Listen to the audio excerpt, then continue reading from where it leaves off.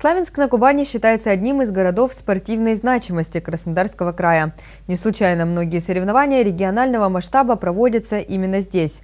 На этот раз нашему городу выпала честь принимать открытый чемпионат Краснодарского края по баскетболу среди мужских команд.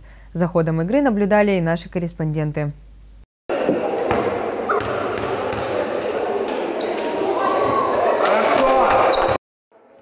Славянску на Кубани вновь выпала честь принимать на кубанской земле спортивные соревнования. На баскетбольном ринге встретились спортсмены сборной Славянского района Славянск и из новороссийской команды Черномор Транснефть. Гости из города-героя уже не в первый раз сталкиваются в спортивной борьбе с нашей командой. И каждый раз эта игра напряженная. Сильные соперники, все достойные ребята. Вот, э, приятно видеть э, всегда их. Приятный зал, вообще чисто, все аккуратно, убрано. Вот, достойная площадка. А спортсменов славянской сборной соперники не пугают. Капитан команды «Славянск» Александр Дорошенко признается, наша сборная шла на игру с настроем только на победу. Новороссийск всегда принципиальный соперник, потому что мы, как называемся, города побратимы, то есть, ну, команда, ну, сильная, то есть, ну, бывает то, что мы выиграем, бывает то, что и они проигрывают.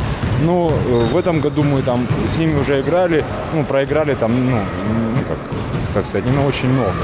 Игра была яркая по накалу, ходу и результату. В начале игры «Фортуна» была на стороне соперников, но славянская команда не давала противникам вырваться вперед, и долгое время счет был практически равным.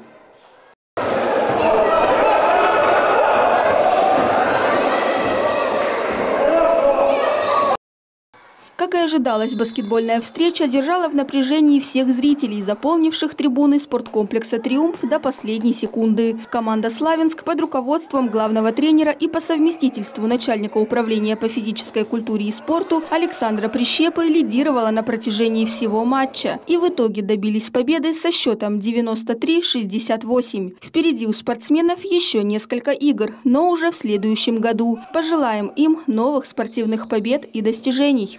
Надежда Калинина, Игорь Ванчугов, Георгий Калинин. Программа «События».